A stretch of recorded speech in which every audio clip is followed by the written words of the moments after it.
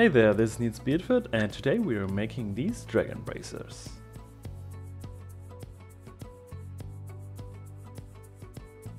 As always, I recommend making a rough paper or cupboard model like this just to get the size right. For cutting everything out, a laser comes in really handy, especially for these little outcuts, but cutting it out by hand is working as well.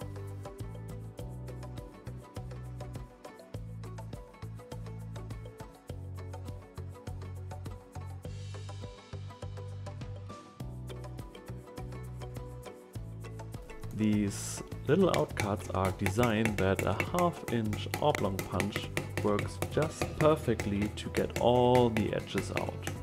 Alternatively, obviously you can use also a knife and some round hole punches.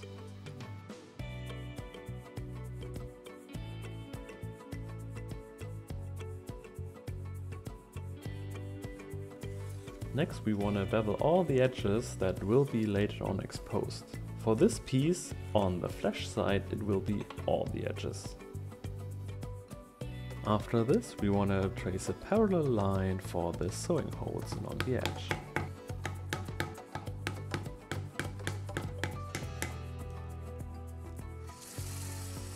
Now for tooling we want to moisten everything completely from both sides and let it set for half an hour at least.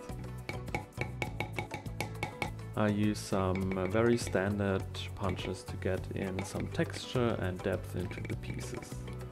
Note also that what the laser here on engraving did for me is basically what a swivel knife usually would do.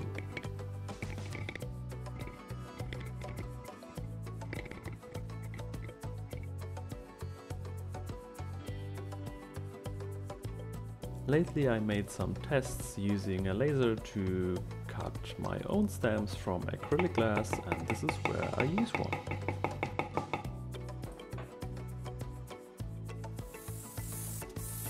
For the dye I use an airbrush, just applying a base coat of red and then going along the edges with a dark brown.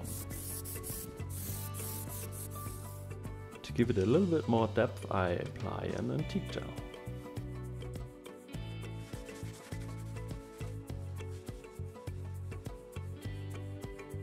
As a finisher I apply a coat of resist.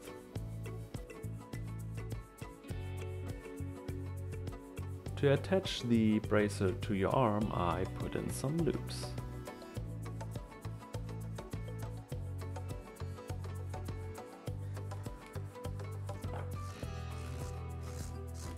I rough up the area for gluing be sure to in advance mark where to rough it up and then apply contact cement. When you're applying contact cement and dyes, be sure you're wearing protective gear and make sure you got good ventilation.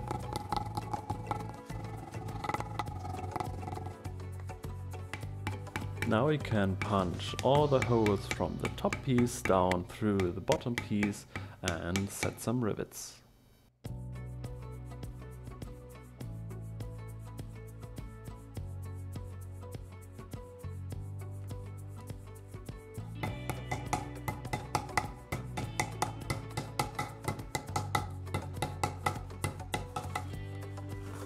For the weaving I use some 4 to 5 millimeter thick rope and I weave it through the pieces up and down just like shown. Note that when you come onto the edge at an angle, like shown here, you will have three holes and the center hole will be used twice.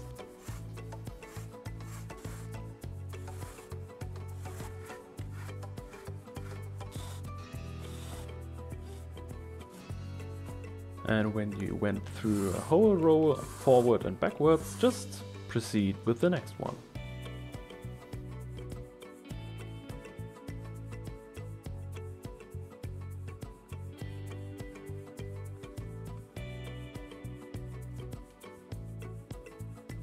The ends of the rope can be melted, knotted and weaved through the other pieces to secure them.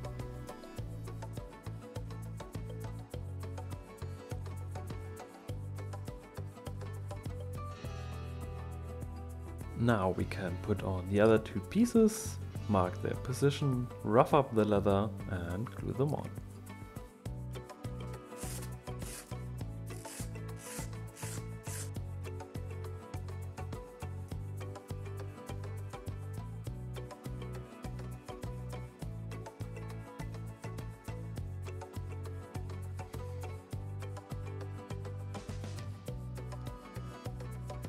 But wait!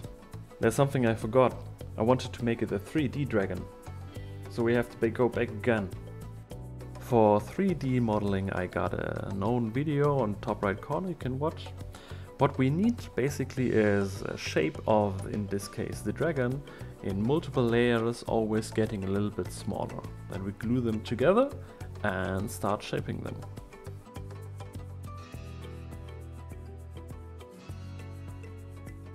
Any tool like beveler, knives and skiver are really useful here. You want to form the shape that the dragon should have in the end. So what we're doing is making the piece for underneath and then thinning out the top leather from the flesh side, moisten it and shape around it.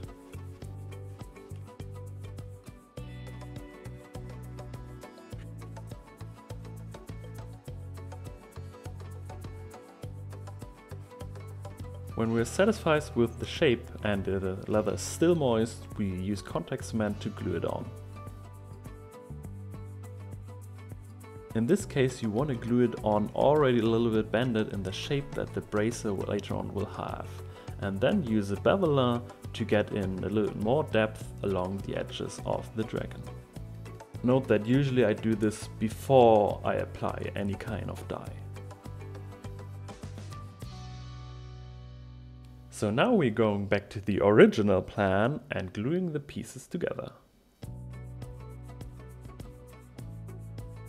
Carefully put everything in position before you press it on completely. And note that I glue it on already in this partly bent shape.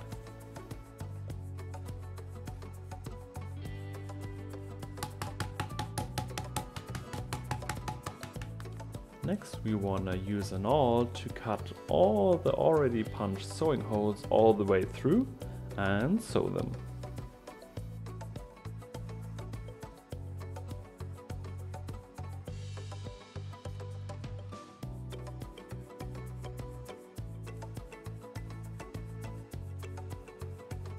Now when everything is secured together, we're taking care of the edges cut away all the excess, sandpaper it, bevel it, re-dye it and burnish it.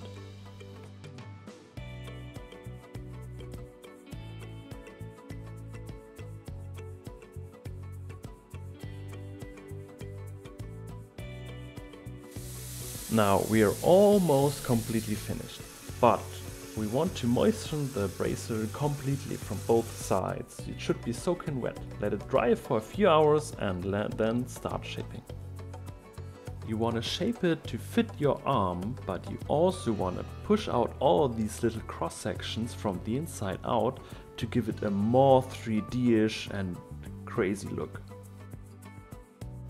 Put in a leather strap to keep the bracer attached to your arm and just let it dry this way.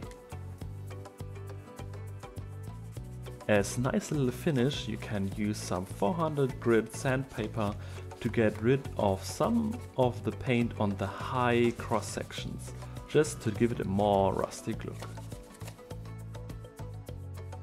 And this is it. I hope you liked them.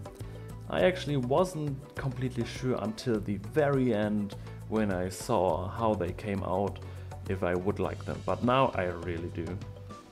So leave a like and a comment. And note that this pattern as well as all the others you can find in my Etsy store, linked down below. See you guys next time. Have a great day!